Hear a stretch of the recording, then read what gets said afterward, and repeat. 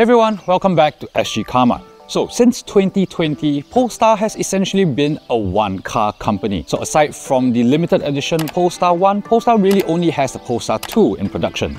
Well, Polestar does have quite an ambitious plan to roll out multiple cars in consecutive years, but due to some production delays, that has been pushed back a little bit, right? The timeline has moved slightly. So this year, we're actually getting two new Polestars, and the new top of the range model is this, the new Polestar 3.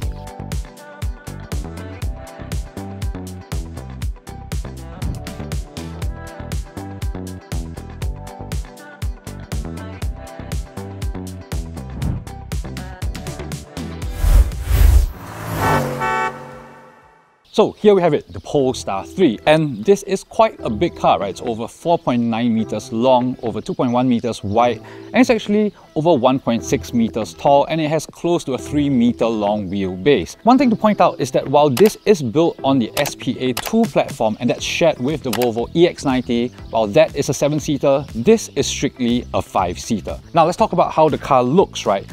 So it's probably quite a familiar Polestar design, a lot of the same Polestar elements that you have probably seen on the Polestar 2. So we have the dual blade headlights, we also have this smart zone area. But a couple of cool things to point out, there is this wing element here, right? It's not actually very obvious. It's perhaps more obvious if you look over here.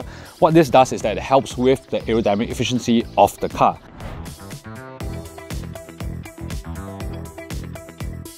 Now over here on the side profile of the car, you can see that it's fairly typical SUV proportions, right? But this car is over 1.6 meters tall. Surprisingly, it's not as tall as I expected. And you know, for an SUV, it's actually quite compact. Now, wheels.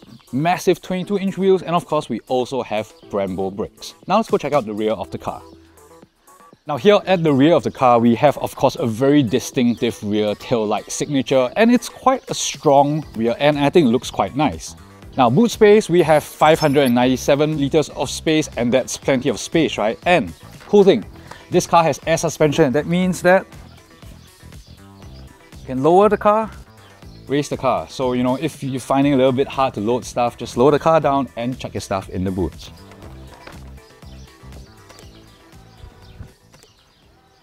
Now, just got in the rear of the car and first things first, soft closed doors. Now let's talk about space, right? Leg room is plenty and headroom is very generous as well. And this is a very comfortable space, right? We have little cushions over here, little cushions on the headrest here. And you know, this really speaks to that comfort priority of this car, you know. And overall, it is a very comfortable space. I like how it feels over here. And slightly different from the Polestar 4 and even the 2, right? The middle seat, you can tell that it's designed to be set in, right? So if I slide over in the middle, Again, it's perfectly comfortable, you know, you can easily fit three adults here in the rear and this has a completely flat floor as you can probably see over here. So you're going to be sitting very comfortably. And I also particularly like that the center console does not protrude out, right? So everyone almost has equal amounts of space and that's just a really nice quality about this car. Now, in terms of amenities, we of course have rear aircon vents, we also have rear temperature control and heated seats as well, perhaps not so relevant in Singapore, but you know, it's there. And we also have two USB-C ports. That's the rear, let's go jump in the front.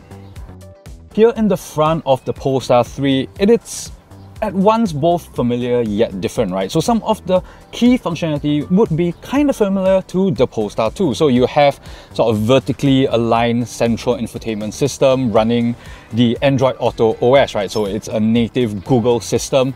The way it's been configured now, it's a little bit different and it's actually quite interesting, right? So the key thing to note is that we have a map display first and foremost, and then we have two widgets. So it's set up to be your media and then your phone. And this is fixed, right? So the idea being that these are the functions that people will use most of the time. Maps primarily, and then perhaps if you're on Spotify, on Tidal, and then obviously your phone. And then a third row would be all your other relevant information, right? So range and trip, radio, your camera adjustments, glove box. And then finally you have your, you know, climate controls and then your key things like your home button, your, you know, driving settings, so on and so forth. Now, one interesting thing about this particular row is that Currently, you can see there's adjustments and glove box because that's what you need when the car is stationary and stop, right?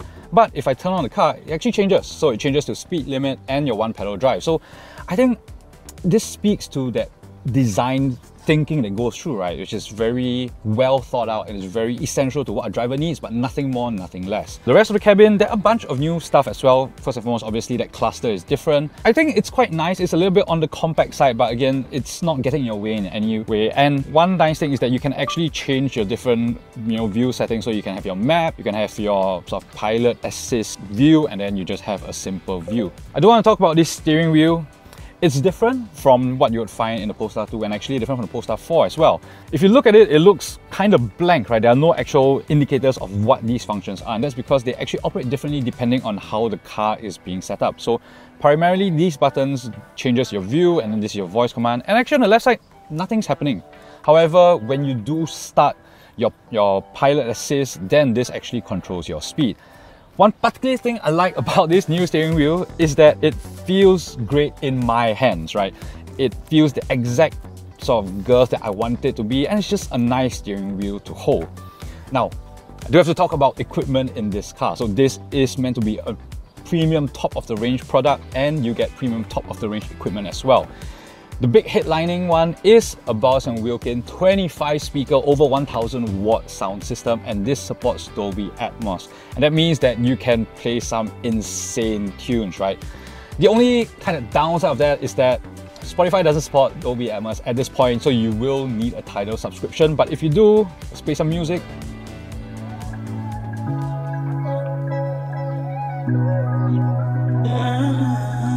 Yeah it sounds fantastic. And I just love that there's a sort of theatrical way when you're just sitting in the car, right? So for example, if you're charging your car, you're waiting for your kids or what, you know, you can play some really, really nice tunes and it really elevates that overall cabin experience. And beyond that, obviously, we also have all kinds of sustainable materials. So we have this sort of Microtech material, we have these, these leather seats are sustainably sourced as well. And that, you know, that's just part of the Polestar brand. Now, talking about these seats, because these are the optional Nappa leather seats, you also have ventilation and you have massage, so that's great. Alright, so I'm driving the Polestar 3 now and it's worth pointing out this car isn't fitted with the performance pack so I only have 360 kilowatts and over 800 newton meters of torque. This car will do 0 to 100 in 5 seconds and honestly it's one of those where if I put my foot down it doesn't kick you in the head because this is quite a heavy car, but it still picks up very, very well. And this car also has a 107 kilowatt hour battery, which means that you have a range of over 600 km on a full charge. So how does it feel on the road? First and foremost, it feels comfortable and it should be, right? This car has air suspension, you know, it's an active air suspension, so it will raise its ride height at highway speed, so you're a little bit more efficient. And we also have active dampers, which means that you can actually select from I guess soft, not so soft, and kind of firm, but it's actually not super super harsh. So obviously in the softer setting, it's actually super comfortable, eats up bumps in the road very very well, but I've tried it in the harder setting as well and while it does firm everything up you know it does a little bit of a better job of controlling body roll it's not harsh in any way.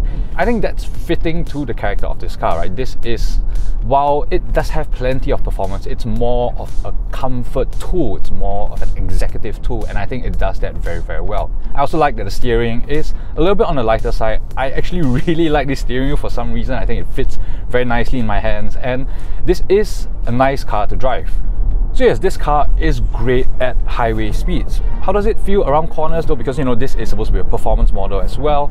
I will say it's quite impressive. It holds its own quite well. You know, this is fundamentally a big car, right? 2.5 tons. So it feels heavy, you know, when you're doing hard braking, you feel the weight of the car. But I will say that it is still quite nimble. You know, I like the way it feels through the steering wheel and one interesting thing about this car is that it has something called torque vectoring dual clutch, or TVDC, right? Typically in a normal torque vectoring system, what the car does is it brakes the inside wheels to pull you into a corner, whereas on this one, it actually sends power to the outside wheels to help push you in a corner. And I've driven this up some mountain roads around some hairpins, and you definitely can feel that, right? If you go hard into a corner, turn hard, get early on the power, you can feel the car sort of scrambling to give you a lot of power to push you into the corner and then continue all the way through true. I'll be very honest, how often are Polestar 3 drivers going to be doing that?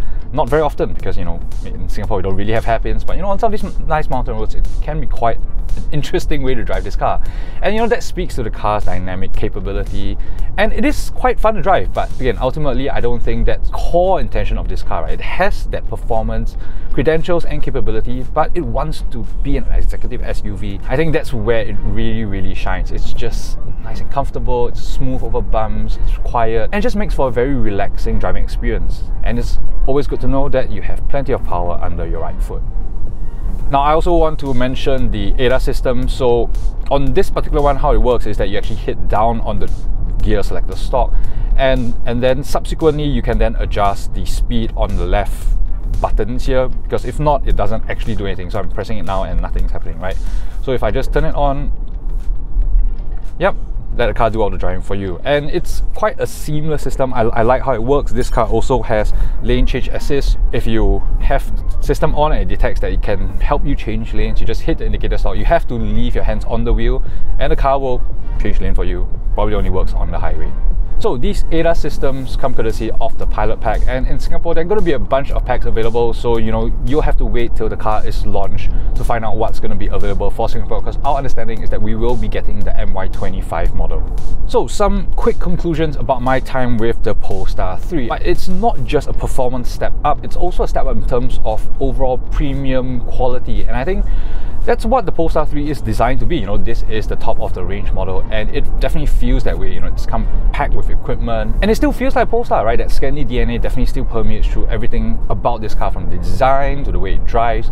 I am enjoying myself a lot driving this car. You know, while it can be quite an interesting performance tool. I think primarily it wants to be an executive tool, right? It's supposed to be comfortable, it's supposed to be pleasing, it's supposed to be easy to drive, and it is all of those things. And I think that's very impressive. This is a worthy car to sit at the top of the Polestar range. We also understand that there will be a long-range single motor variant that will come sometime in the future, so you have to sort of look out for more details about that. And if you're wondering when this car will be launched in Singapore, we understand that it will be sometime in Q3, so that's not going to be too long away. So yes, I hope you've enjoyed this video. Do remember to like, share and subscribe to our channel. And of course, you can also hit the notification bell to be alerted of all our upcoming videos. And you can also check us out on TikTok at SG Carmart. So yes, that's my time here in Madrid done. I'll see you back home. Bye!